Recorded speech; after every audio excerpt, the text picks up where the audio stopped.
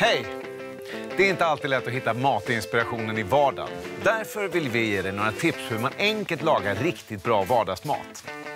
Till vår hjälp har vi inga proffskockar, utan helt vanliga kändisar. Häng med in i vardagsköket. Hej Tobbe, välkommen tillbaka! Hello! Han kommer in dansande idag. Ja, ja, ja, En, två, tre, en, två, tre, ja. Så, snyggt! Ja, tack så mycket. Och du kommer inrullande direkt från eh, föreläsning förstår jag. Ja, var håller en föreläsning på Södertörns högskola faktiskt. Så, men nu är jag redo. Nu ska vi gå ihop igång med den här kinesiska woken som vi ska göra idag. Kinesisk bok. Yes! Spännande. Vardagsköket är ditt. Tusen tack! 1. Dela grytbitarna i mindre bitar. Hacka salladslöken fint. Japp. 2. Hetta upp olja i en wok eller stekpanna. Blanda i riven ingefära och riven vitlök. Kommer även blanda i lite chili för att få lite extra smak på det. Och sen låt det fräsa det i en minut. Rensa ner salladslöken, fräs ytterligare någon minut. Lägg i grytbitarna och fräs på medelvärme i cirka 5 minuter, eller tills de är genomstekta. Koka nudlarna enligt instruktionerna på förpackningen. Blanda ner grönsakerna i woken och stek ytterligare 5 minuter. Rör sist ner de kokta nudlarna och låt det bli varmt. Men jag kommer börja med att sätta på vattnet faktiskt, för det tar längst tid. Så jag tänker börja med att koka upp vattnet lite, så det är klart till nudlarna. Hur låter det Martin? Jag tycker det låter strålande. Tycker du inte det? Jag roar mig med det nu när du läser igenom saker, att jag blundar samtidigt som du läser igenom det. Tycker du det är så vackert? Ja, jag tycker att det känns lite som så här radioteatern ger recept nu. Ja, men det är ju så. Ja. Det är min stora dröm egentligen att bli skådespelare. Är det det? Ja, du kanske ska ge mig några tips? Ja, nej, jag tror att du börjat lite i smyg ju, genom att stå på scen Ja. som föreläsare. Du menar så? Ja, precis. Ja. precis. Dela upp det i ganska, så, ganska så, så små bitar. Vi ska, ju, vi ska ju steka det här sen. Och då ska det ju gå ganska så fort. Vi ska steka det på hög temperatur och så ska det bli, gå ganska fort. Så är det bra om det är små bitar. Eller hur? Är det så? Jo, så tycker jag definitivt att det är. Eller? Ja, jag, så länge jag är tyst, det är som körskolelärare. Så länge jag är tyst så kör jag bara rakt fram. Du, när jag körde, vi, körde jag, jag, jag, vet min bilskollärare, han var fruktansvärd. Han skrev nämligen så många gånger. Han, han så här, så här, varje gång som han, jag inte tittade till vänster men det kom en, en kurva så här, bara, han bara slog allt man hade i dörren så här, bara, som att, Oj, det var en cyklist död igen. Så, så lärde jag mig köra bil. Så du fick körkortet på hur många döda cyklister? Jag vet inte, det var säkert ett 20-tal i alla fall som rök med. Med bilskolelärare så har du haft med dig en eh, mentor då också i Tina Turner. Ja, verkligen. Alltså, hon är en fantastisk kvinna. Hon är ju otroligt häftig. Alltså. Hon är ju, Tina är ju en sån mä- människa som verkligen... Hon är så positiv. Hon varje morgon så vaknar hon upp. Hon säger så här, man ska vakna upp varje morgon, gå in på toaletten, ta alla kläderna och säga jäklar vad snygg jag är. Och det gör hon varje morgon. Hon gör det varje morgon. Så bara, oj, och står där naken och så bara beundrar sig själv. Så alla, alla skulle göra det, mår bra att göra det. Även du Martin. Nu ska vi fräsa upp det här. Vi, vi ska skära upp lite vitlök och lite salladslök också här.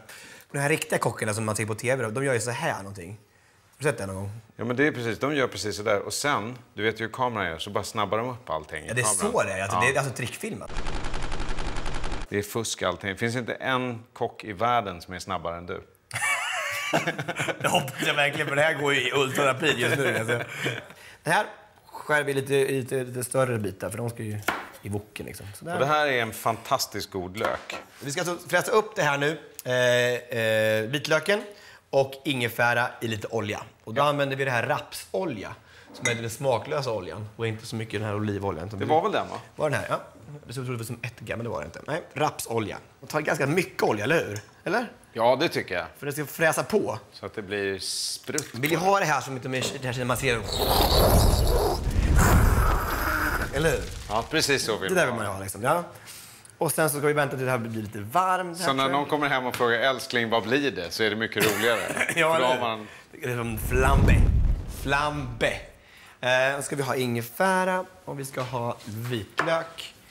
Och så har du lovat oss en sak. Vad har jag lovat då för någonting? Du lovade att du skulle spicea till det lite. Med chili. Just det. Precis. Ja.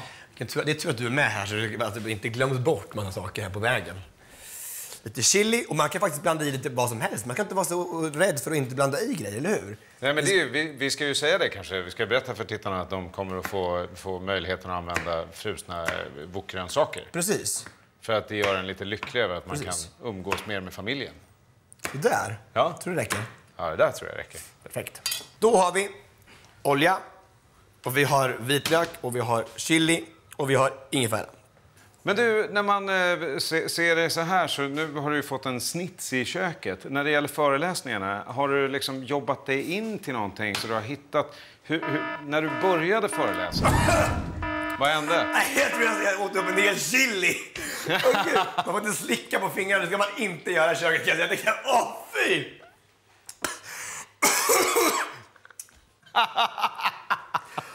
Åh!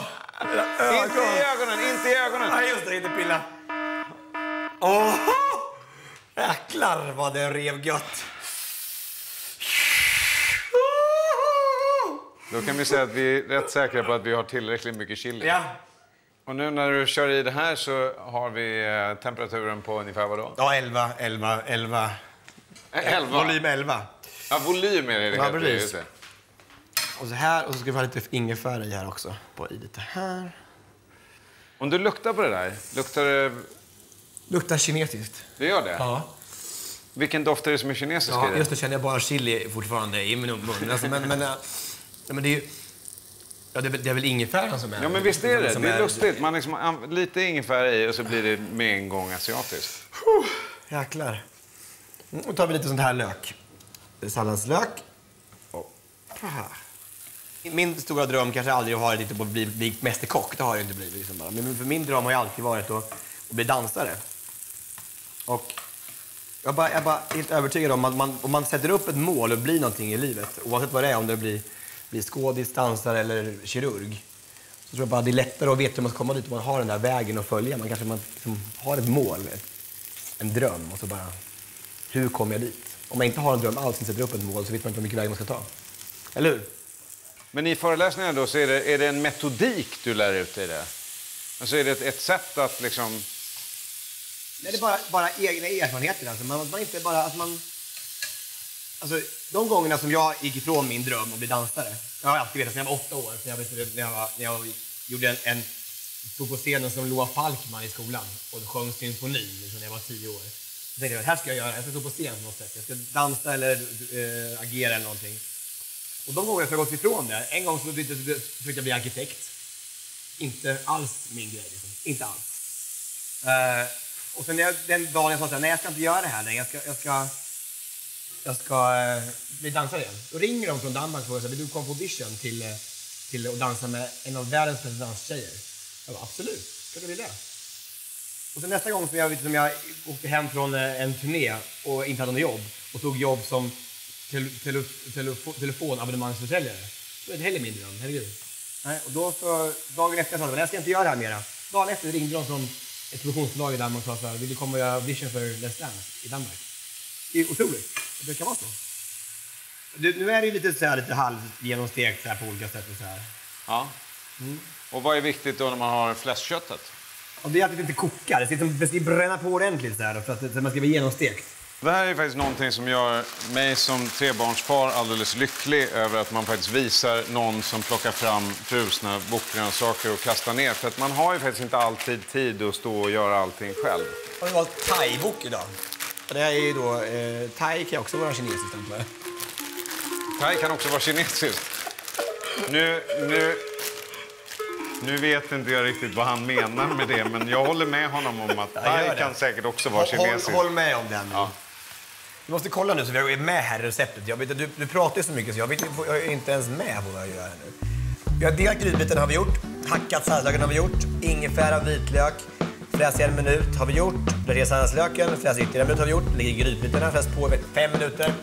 Snart är det dags. Det är ju klart det här. Jag lägger i nu- nudlarna och gör dem, så de är klara.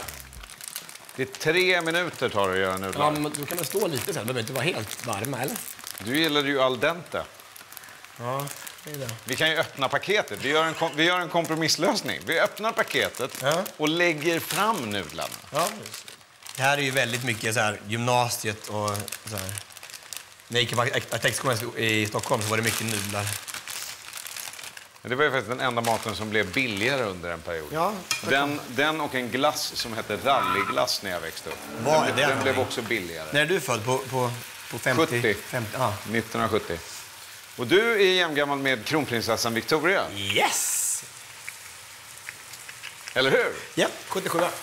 Innebär det att dina föräldrar egentligen ville att du skulle gå på enskilda gymnasier och vara liksom så här klasskompis med tror henne? jag inte de ville. De försökte få in dig i kungakretsarna. Nej, de har aldrig provat det faktiskt. Jag fattar inte varför de inte gjort det för. Jag, jag, hade, jag hade passat in där tror jag på Lundsberg. Det där tycker jag är lite roligt. Har, har du, för nu är du en kändis och sådär. Innebär det per automatik att du känner alla andra kändisar? Ehm, nej, men man, man, just Let's Dance blir väldigt påtagligt. Man, man, man, man lär känna väldigt mycket känt folk. Varje år så är det 12 nya kändisar som kommer in och deras kompisar är ofta kända. Och så deras familjer och allting. Så det blir väldigt mycket. Det är ett väldigt stort nätverk. Så jag har lärt, alltså, lärt känna många och många av de här människorna jag dansar med, sex stycken eh, tjejer, liksom, de känner jag ju väldigt väl. Det är väldigt få gånger i livet som man spenderar 18 veckor med en person så intensivt och rör i varandra och tar och dansar och bara åh mysigt. Nej, så det, jag känner en del människor väldigt bra i den här branschen. Tror du vi ska lägga i med nudlarna nu då? Mm, jag tror det. Oj. Och för alla er som undrar så just nu så håller vi på och eh, ser till att alla nudlar hamnar under vatten. Precis. Det, det är så dumt för att en del blir väldigt hårda annars. Ja. En del nudlar blir väldigt hårda om de Och inte är speciellt under när det är tre minuters koktid. Precis. Den här chilin börjar vet du, komma sig till rätt nu. Har du börjat få tillbaka tungan? Mm, Ja, jag kan känna det i alla fall. Mm, det är bra. Men det, vi gjort, det är inte så mycket kvar. Vi ska bara lägga i nud- nudlarna och ska det ut och koka lite tid och sen är det klart liksom. Men sen ska vi göra någon fiffig uppläggning av det där så att det ser så här härligt ut. Ska man garnera det på något sätt? Är det liksom en liten slutpiffning? Det skulle vara sån här halmhatt då som de har i Kina. Halmhatt?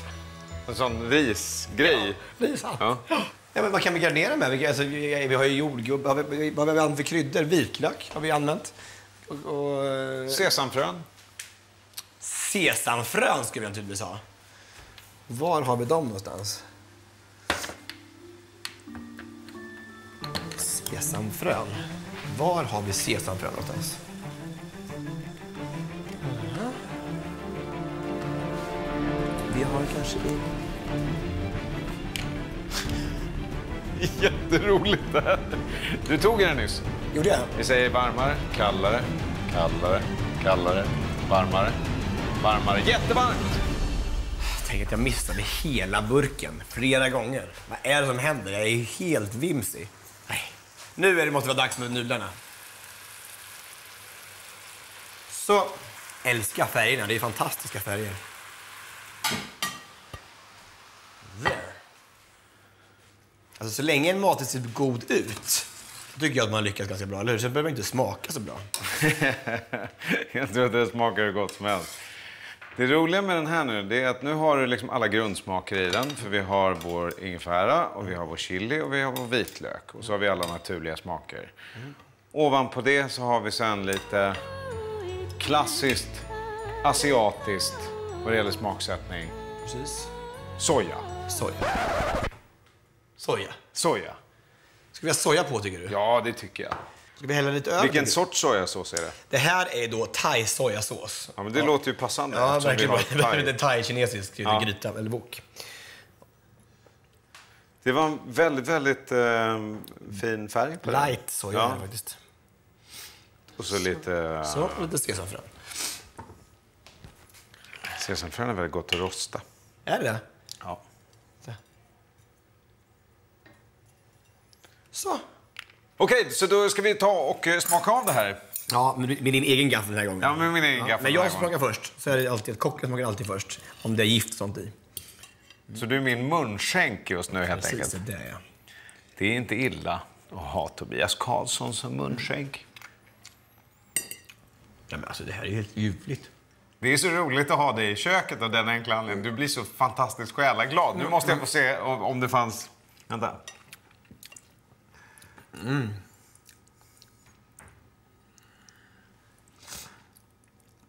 Men alltså det var ju, det var ju en typ av... Det var ju gott liksom. Det var jätte, jättegott. Ja. Och det sköna med det här det är att det är så enkelt smakmässigt. Lite ingefära, lite vitlök, lite chili, lite soja på det. Här, vänta. Jag skulle säga det är lite Lady Lufsen-mat. Slurpar upp det.